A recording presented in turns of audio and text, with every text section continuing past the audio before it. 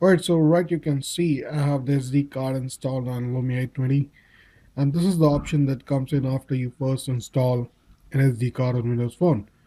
It clearly says if you want to store new pictures, music and videos on this SD card. So we'll say yes and let's see what happens.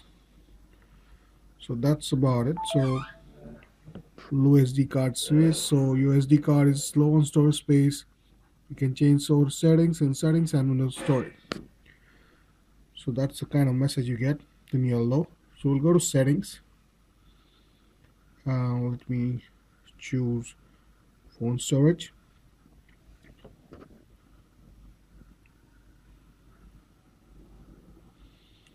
So like you can see it's already 1.83 GB used. So there's not much of space left. So I can just tap on it. And there's other free storage music videos and stuff there.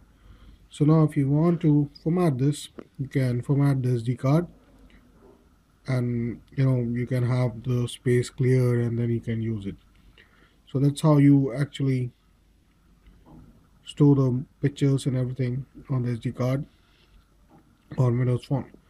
Uh, next video will take you to a tour of you know how it looks like on the computer how the SD card shows up on the computer when you connect your phone through the USB cable. Stay tuned. Alright so like you can see you have connected my Lumia 820 which has a SD card and that's what it shows up like. You have the main storage and the SD card along both at the same place. So like if you go to the SD card this is from my Blackberry I think Blackberry Curve I had so that's the reason uh, it was showing up a lot of space use so I can just drop it off. And even I can format it right from here. Okay I don't get a format option but you can format it from your um, Windows phone like the option we saw. So the next video will take you to a small tour on how you can format your SD card from Windows phone. Thanks for watching Alright, so we already saw what happened uh, when you insert SD card and how it looked like on your computer. And it also gives a message when you go low on storage and you can change your phone settings and everything. So we'll go to settings and see what how you can format and create more space on the SD card. So for that you need to go to actually phone storage. Okay, here it is. So that's the phone storage part so you can see my SD card is complete and this is the fun and I can actually go and change it to phone or SD card whatever. Save pictures on SD card and music and videos on well.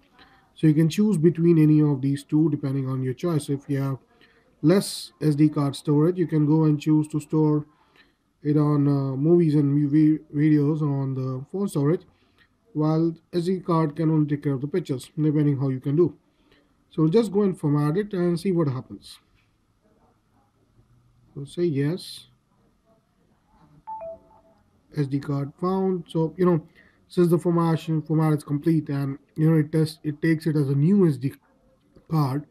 So this is the option We'll see it again. So we'll say yes. And like you can see, I have a free storage of 1.83 GB and everything. So I'll go back and you have free storage and now I can choose where to store I can choose it to store it on my phone music and videos while the pictures can stay on SD card.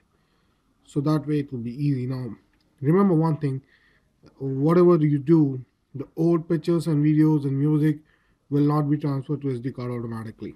It's not built like that. That's a kind of drawback. I would love to have everything transferred if the space is there but that option is not there so whenever you insert a new SD card, you'll take as a new settings and create it. If you format it again, detects it as a new SD card. So that's how you format your SD card on Windows Phone and manage space there. Thanks for watching.